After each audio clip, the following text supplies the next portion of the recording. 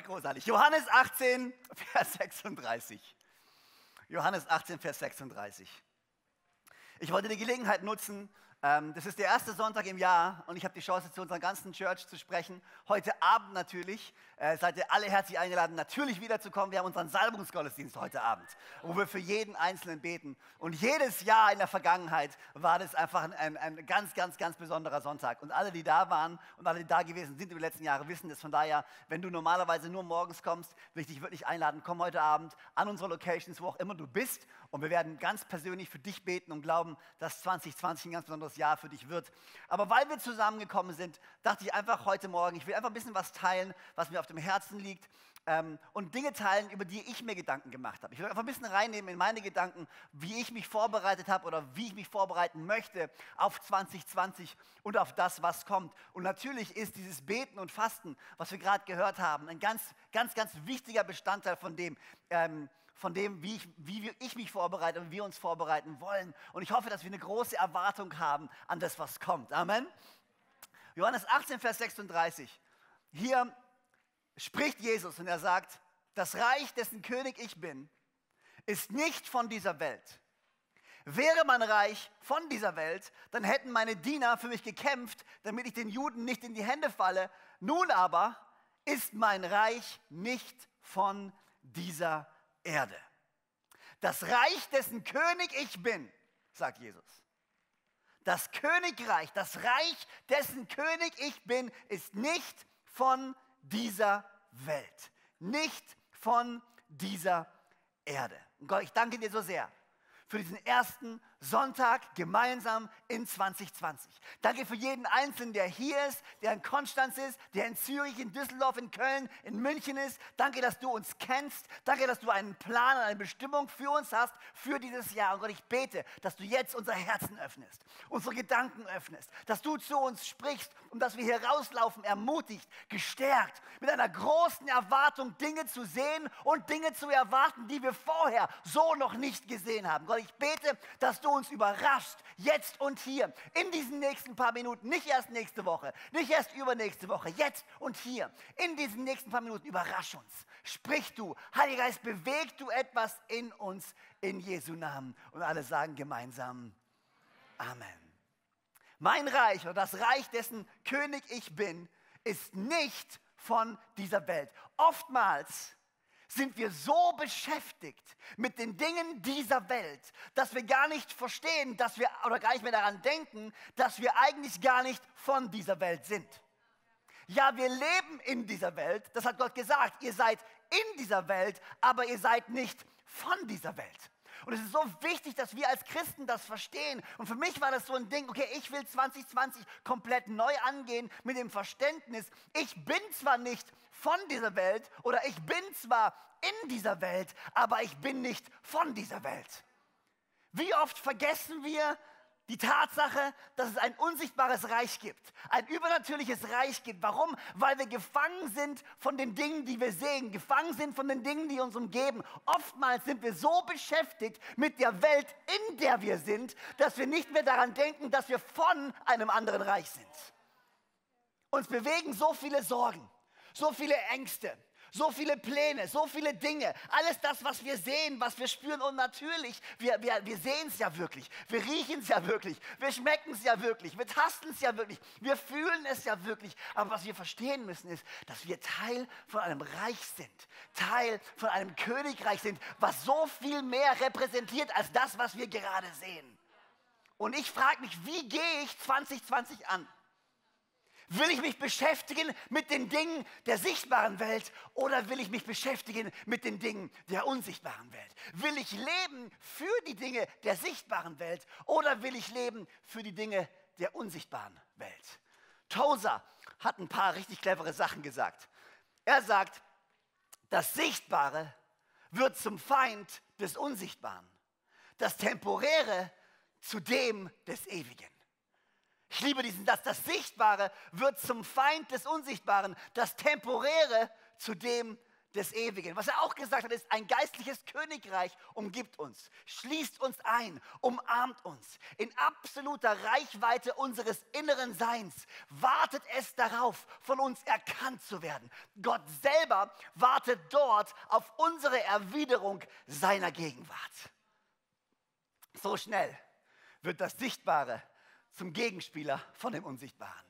So schnell sind wir gefangen von den sichtbaren Dingen, dass wir vergessen, es gibt etwas Unsichtbares in dir drin.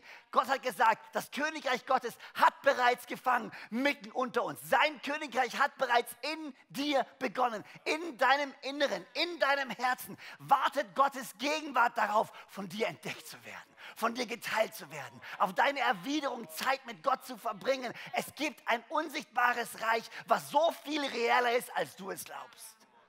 Mein Gebet und meine Hoffnung ist, dass 2020 ein Jahr wird, wo ich viel mehr realisiere, von welchem Königreich ich eigentlich ein Teil bin.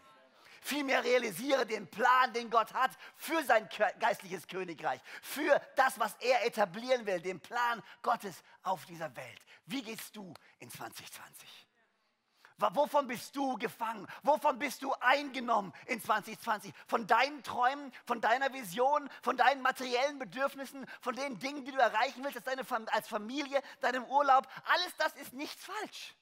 Nichts von dem ist falsch, nichts von dem ist böse. Die Frage ist nur, wovon sind wir eingenommen? Was kommt zuerst? Zuallererst sucht das Königreich Gottes, Matthäus 6, Vers 33, und all das andere wird hinzugefügt werden. Aber wir oftmals fangen auf der anderen Seite an.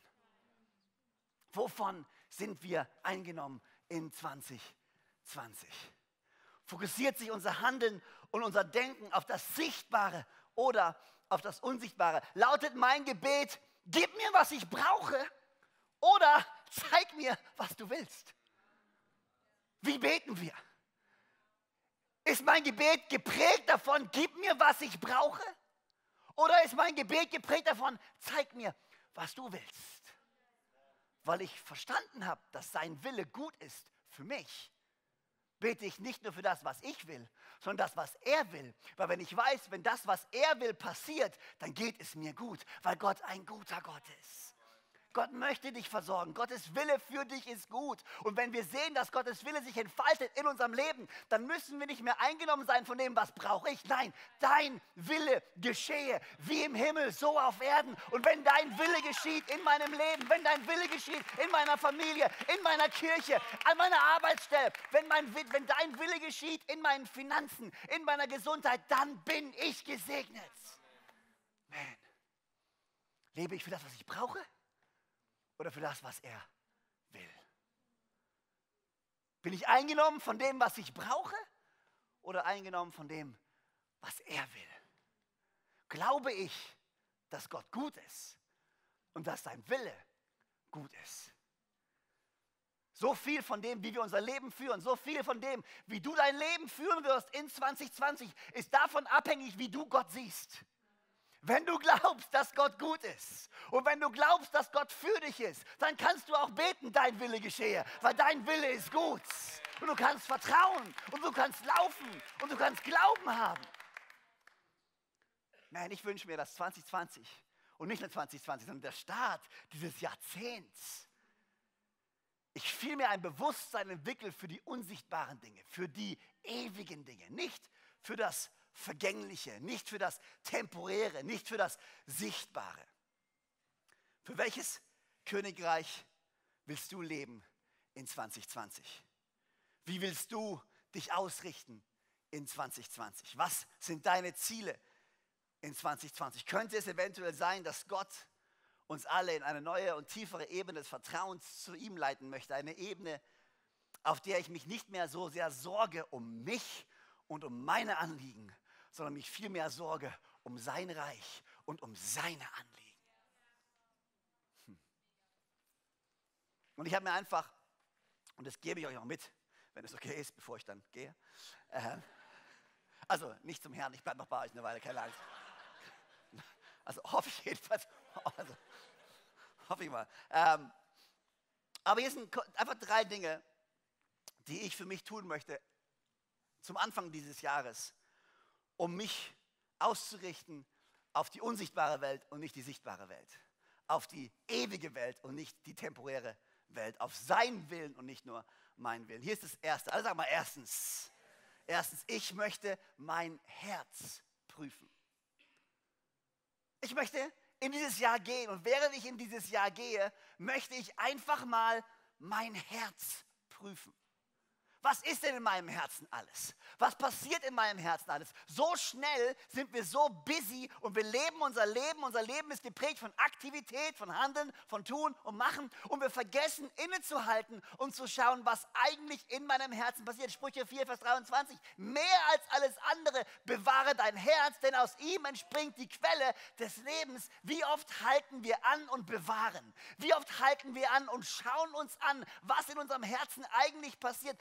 Letztes Jahr habe ich ein bisschen darüber gesprochen. Ich habe über diese emotionale Intelligenz gesprochen. Ich habe darüber gesprochen, was es heißt, sich mit seinem Herzen zu beschäftigen, mit dem, was in dir passiert, mit dem Zentrum, mit der Quelle von dem. Alles, was äußerlich passiert, beginnt hier drin.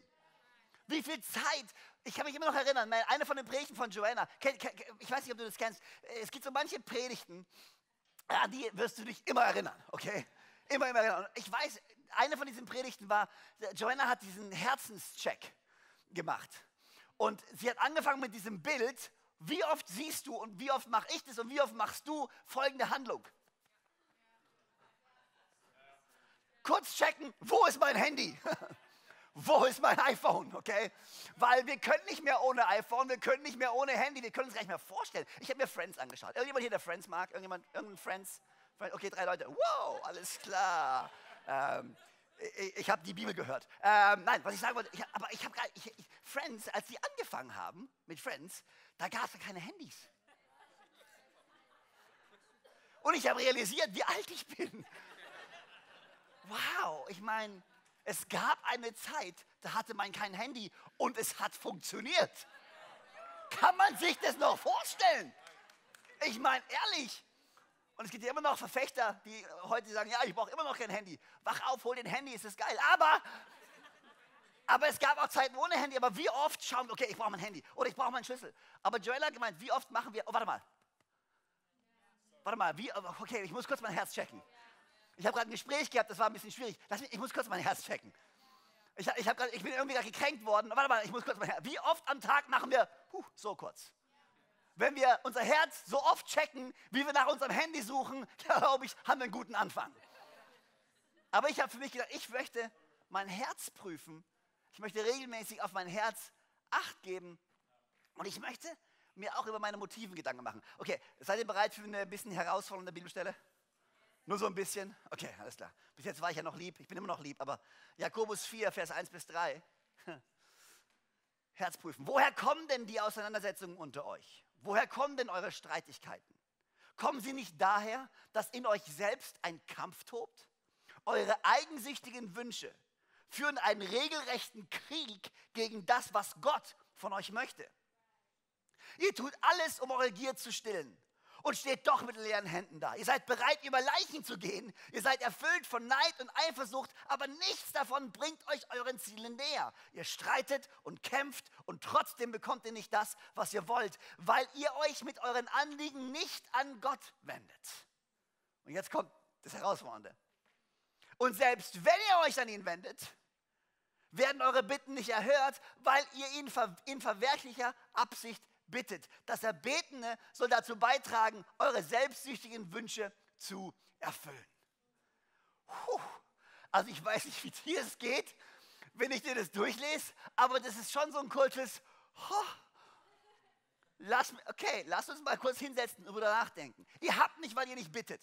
Okay, dann fängst du an zu beten, fängst an zu bitten und dann sagt ihr, aber sogar wenn ihr bittet, dann wollt ihr nur Zeug für euch haben. Und deswegen kriegt ihr es nicht. Und ich denke mir so, oh wow.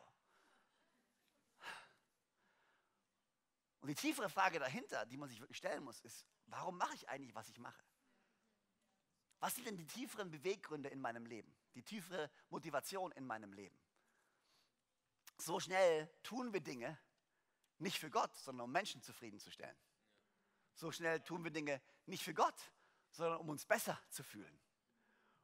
Und dann tue ich etwas und ich diene oder ich bin großzügig und ich kriege kein Lob und ich kriege kein Danke und ich kriege nicht das, was ich erwartet habe von Menschen zurück. Auf einmal bin ich gekränkt. Bin sauer, was auch immer. Und die Frage, die ich mir wirklich stellen möchte, Anfang dieses Jahres, für mich, okay, warum mache ich eigentlich, was ich mache? Warum, warum tue ich das, was ich tue?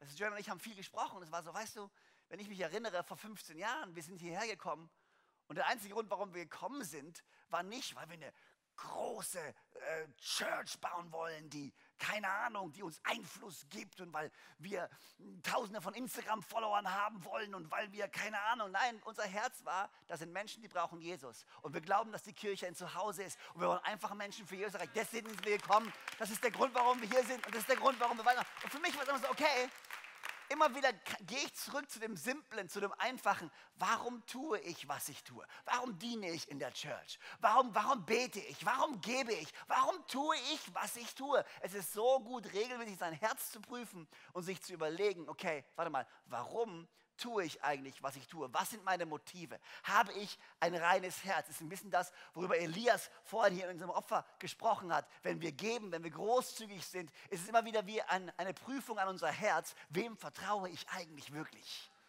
Vertraue ich den Finanzen oder vertraue ich wirklich Gott? Jedes Mal, wenn du deinen Zehnten teilnimmst, jedes Mal, wenn du deine Finanzen in die Hand nimmst und wenn du sie gibst, dann sagst du dem Feind, ich vertraue Gott.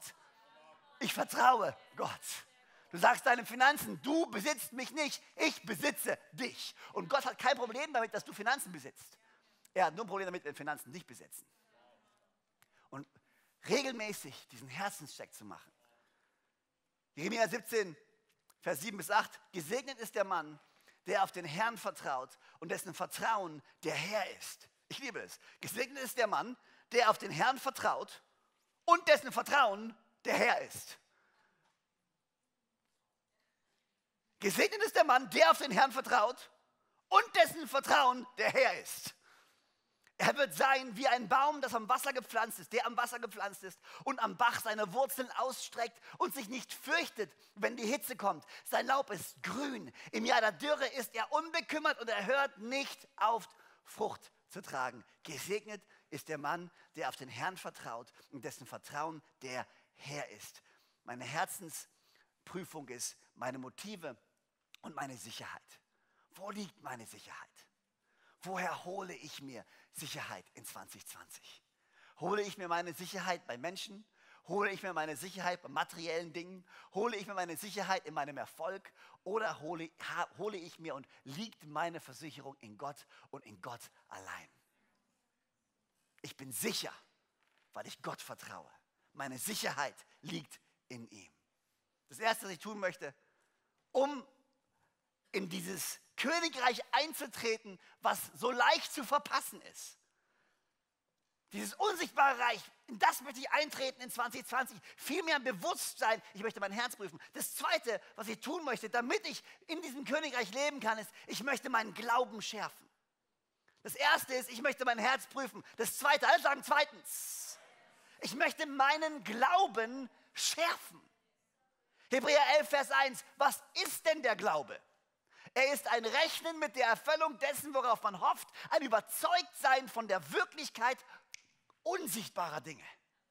Was ist der Glaube? Ein Rechnen mit der Erfüllung dessen, worauf man hofft, ein Überzeugtsein von der Wirklichkeit unsichtbarer Dinge. Was ist meine Erwartung für 2020?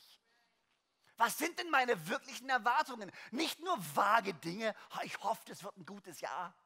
Ich hoffe, dass alles klappt, was ich mir vornehme. Nein, was sind meine ganz konkreten Erwartungen? Was sind meine Erwartungen an meine Ehe? Was sind die Erwartungen für, mein, für meine Arbeitsstelle, für meine Familie, für meine Finanzen? Was sind meine Erwartungen im Thema Gesundheit? Darum, dass meine Freunde zu Jesus finden. Was ist meine Erwartung für unsere Church? Habe ich einen Glauben? Habe ich Erwartung? Bin ich überzeugt, dass Dinge, die ich jetzt noch nicht sehe, sichtbar werden in 2020? Weil ich glaube, habe ich einen klaren Glauben.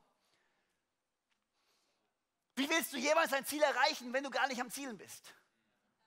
Manchmal habe ich das Gefühl, weißt du, wir sind so, keine Ahnung, wir versuchen irgendwas irgendwo hinzulaufen, aber wir haben kein, wir haben kein klares Ziel.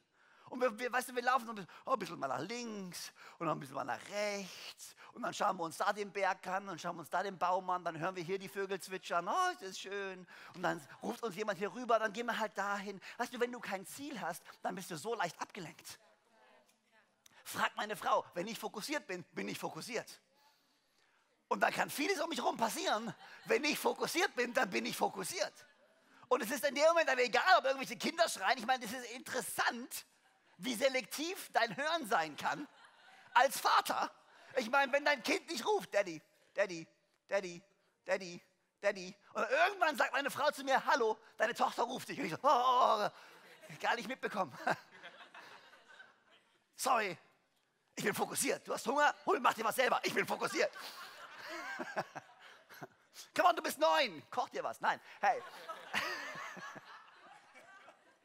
Ach ja, aber hier ist die Sache, wenn wir nicht fokussiert sind, sind wir so schnell abgelenkt. Was ist denn dein Ziel? Hast du einen scharfen Glauben? Hast du ein scharfes Ziel? Erwartest du etwas in 2020? Ich möchte meinen Glauben schärfen, indem ich erwarte, ganz konkrete Erwartungen habe und indem ich meine Inspiration hochhalte. Was wirst du tun in 2020, um heiß zu bleiben? Dreh zu deinem Nachbarn, schau tief in die Augen und sag, du bist heiß. Sei vorsichtig, neben wen du sitzt in der Church, ich sag's dir. Singles, ich sag euch immer wieder, wählt eure Plätze weise. Du weißt nie, welche Vorlagen ich euch gebe. Dreh dich zu dem anderen Nachbarn um, den du gerade eben ignoriert hast, und sag, du bist auch heiß.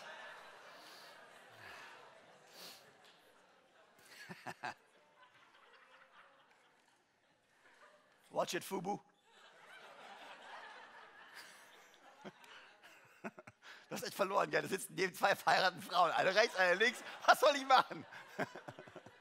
Auf dem Boden starren und einfach, einfach nur. Mm. Es funktioniert manchmal. Es funktioniert. Was wirst du tun, um heiß zu bleiben? in 2020? Was wirst du tun, um inspiriert zu bleiben? Es passiert so schnell. Kennst du das? Du bist inspiriert, du bist pumped, du bist on fire und dann kommt Montag. Und es braucht nicht mal den ganzen Montag. Es braucht nur den Wecker am Montagmorgen. Und deine Inspiration ist irgendwo geblieben. Du weißt auch nicht wo. Hast du im Schlaf verloren? Keine Ahnung. Aber was machst du, um 2020 heiß zu bleiben? Und ich, ich muss mir überlegen, was möchte ich tun, um regelmäßig mich heiß zu halten, um regelmäßig mich zu inspirieren. 2. Timotheus 1, Vers 6, das ist, was Paulus sagt zu Timotheus. Er sagt zu ihm, come on, um dieser Ursache willen erinnere ich dich, die Gnadengabe Gottes anzufachen. Alle sagen mal anfachen. Die Gnadengabe Gottes anzufachen, die in dir durch das Auflegen meiner Hände ist. In dir ist das Feuer Gottes. In dir ist die, ist die Glut Gottes. Was wirst du dieses Jahr tun, um regelmäßig die Glut anzufachen, dass es zu einem lodernden Feuer wird in Jesu Namen? Was wirst du tun? Welche Predigten willst du anhören? Welchen Bibelleseplan wirst du nehmen? Mit wem wirst du dich treffen? In welche Kleingruppe wirst du gehen? Welche Ziele habt ihr als Kleingruppe? Was wirst du als Team machen? Was wirst du als Ehepaar tun? Was machst du, um heiß zu bleiben? So viele von uns haben stolpern so in 2020, oh ja, der Herr wird es schon richten. Gott wird alles zum Guten wenden für die, die ihn lieben. Ja, aber weißt du, das, das ja, aber das sind keine Ausreden für dich, passiv zu sein und nichts zu machen. Gottes Vertrauen heißt nicht, ja, wird schon, que sera, c'est la vie, es wird schon irgendwie laufen. Nein, das ist nicht das Leben von einem Christen. Ich rede nicht darüber, rumzulaufen und gestresst zu sein. Ja, müssen mehr erreichen. Aber nein, aber Ziele zu haben, Glauben zu haben, Erwartungen zu haben. Was wirst du tun, um heiß zu bleiben? Was switcht dich an? Weißt du eigentlich, was du brauchst, um switched on zu sein? Es geliebt gestern, wir haben so, eine, so einen Gruppenchat von uns als, äh, als, äh, als Key-Team Hillsong Germany und Campus Pastoren und Key-Team. Und, und, Jan hat gestern so, ein, so einen Clip von Jensen Franklin geschickt an, an, an Joanna und an mich. Und er hat gesagt, hey, das habe ich mir angeschaut, das ist super inspirierend. Wir haben es geschaut, war wow, super inspirierend, haben es in unsere Gruppe geschickt. Und es ist so, okay, wow, das ist so, ich, du hast diesen Clip dir angeschaut und du hast gemerkt, irgendwas in dir bewegt sich, irgendwas in dir wird entfacht. Auf einmal war der Glaube wieder ganz anders da. Was machst du jede Woche, um dich zu inspirieren? Weil ich weiß nicht, vielleicht bist du ja so wie ich. Gesundheit. Ähm, ich liebe die Bibel lesen, aber ich weiß, einfach nur für mich alleine Bibel zu lesen, ist nicht, reicht mir nicht unbedingt aus, um on fire zu bleiben. Sondern ich brauche andere Menschen um mich herum, mit denen ich mich austauschen kann. das ist übrigens der Sinn von Kirche, der Sinn von Gemeinschaft, der Sinn von Zusammenhalt. Gott wusste, du allein und deine Bibel. Alles, was ich brauche, ist ich und Jesus. Ist nicht biblisch. Wenn du immer jemanden findest, der sagt, alles, was ich brauche, ist Jesus, sagst du, nee, stimmt nicht. Doch, ich brauche Jesus. Ja, klar brauchst du Jesus, aber du bist gepflanzt in seiner Familie. Du brauchst nicht nur Jesus, du brauchst seine Familie, du brauchst seine Kirche, du brauchst seinen Haushalt, du musst gepflanzt sein. Ich brauche Leute um mich herum, mit denen ich reden kann, mit denen ich austauschen kann, mit denen ich träumen kann. Ich brauche einen Ort, wo ich regelmäßig hin. Wenn du noch nicht in der Kleingruppe bist, was um Himmels, was, was machst du? Warum bist du noch in einer kleinen Gruppe? Das ist der Ort, wo du inspiriert wirst. Das ist der Ort, wo du dich austauschen kannst. Das ist der Ort, wo andere dich ermutigen. Nein, nein, ich brauche, nein, nein, nein, nein. Ich bin zu busy. Du bist zu busy mit der sichtbaren Welt, um Teil von Gottes Haus zu sein, um dich inspirieren zu lassen und dein Feuer am Lodern zu lassen. Wirklich? Viel Spaß dabei, das Gott zu erklären. Ich habe ja gesagt, ich habe ja gesagt, ich bin bis gerade eben war ich nett. Jetzt nicht. Nein. Aber wisst ihr, was ich meine? Wir sind manchmal so komisch. Oh ja, mal gucken, was passiert. Nein, come on. 2020 ist hier. Was wirst du reißen in 2020? Was werden wir zusammenreißen in 2020? Was sind unsere Erwartungen an 2020? Wen kann ich ermutigen in 2020? Wer braucht mich vielleicht in 2020? Wen kann ich segnen in 2020? Was kann ich tun mit dem, was Gott mir anvertraut hat in 2020? Come on!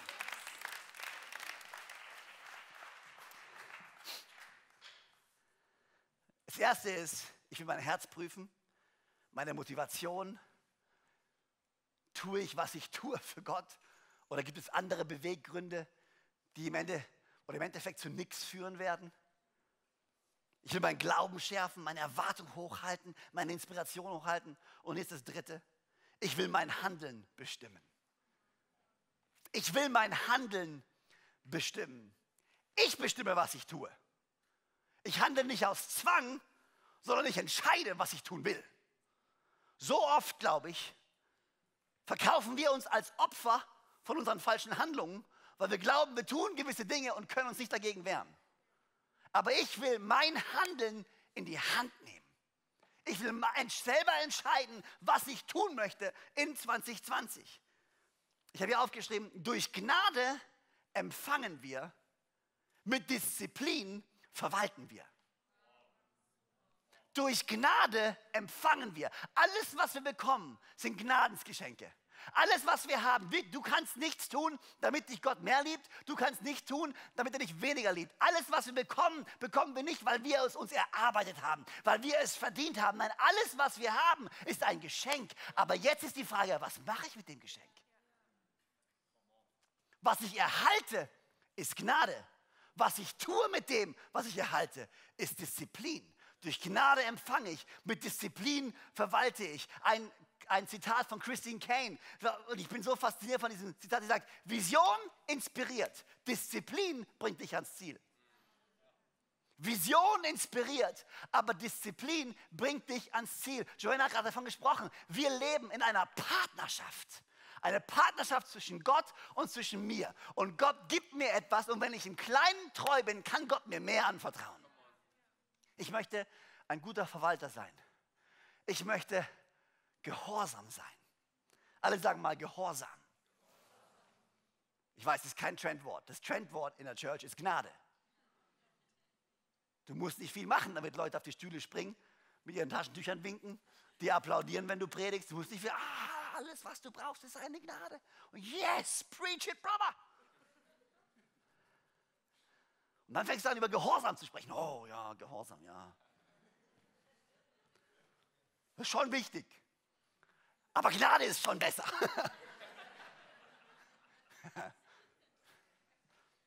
Jakobus 1, Vers 22 bis 25. Hört euch diese Botschaft nicht nur an. Das Neues Testament übrigens. Nicht Altes Testament. Für alle, die sagen, wir leben doch im Neuen Testament. Das ist nur Gnade. Und der Jakobusbrief ist im Neuen Testament. Sogar ziemlich weit hinten. Ist auch nicht irgendwie eine Verwechslung oder sowas. Ist wirklich im Neuen Testament. Hört euch diese Botschaft nicht nur an, sondern handelt auch danach. Andernfalls betrügt, betrügt ihr euch selbst. Okay, andernfalls betrügt ihr euch selbst. Nicht andere, Wir sind nicht gehorsam, um andere zu beeindrucken. Wir sind nicht gehorsam, um dazu zu gehören. Gehorsam ist kein religiöses Handeln, um sich zu qualifizieren, dazu zu gehören oder andere zu betrügen, dass man besser ist, als man denkt. Nein, hier steht, wenn ihr es nicht, ihr sollt nicht nur hören, ihr sollt danach handeln, weil sonst betrügst du dich selber.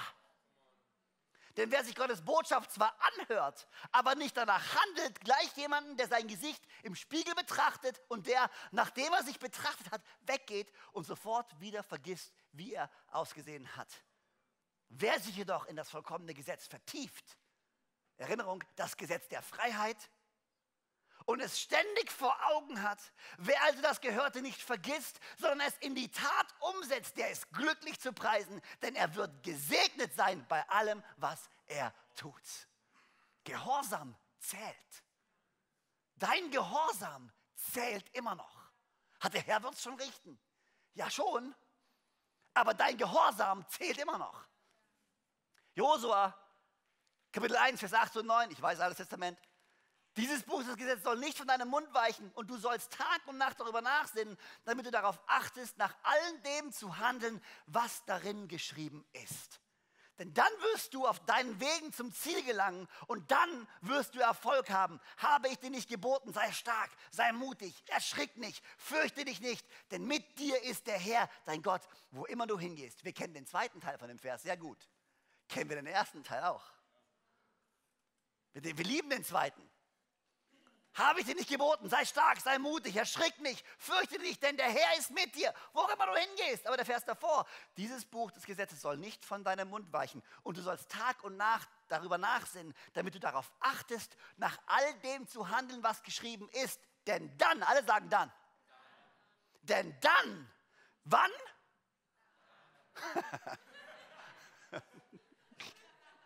ah, praise God. Denn dann wirst du auf deinen Wegen zum Ziel gelangen und dann wirst du Erfolg haben. Dein Gehorsam zählt. Nicht nur etwas zu hören, sondern danach zu handeln. Wir sind nicht gehorsam, um zu bekommen. Wir sind nicht gehorsam, um dazuzugehören. Wir sind nicht gehorsam, um uns zu qualifizieren. Wir sind gehorsam, weil wir gut verwalten wollen, was Gott uns anvertraut hat.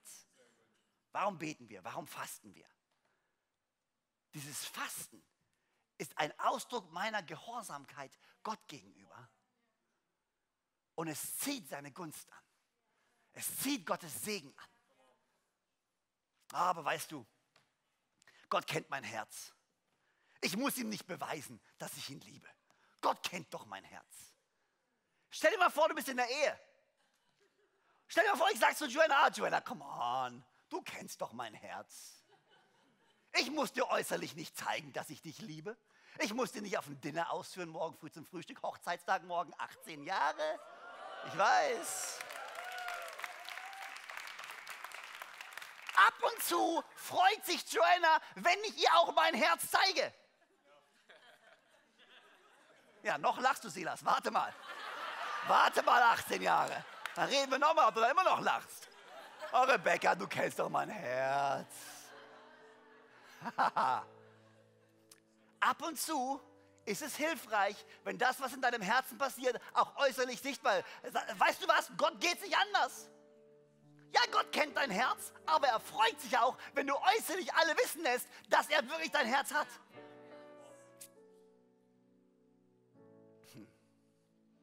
Was du tust, dein Gehorsam.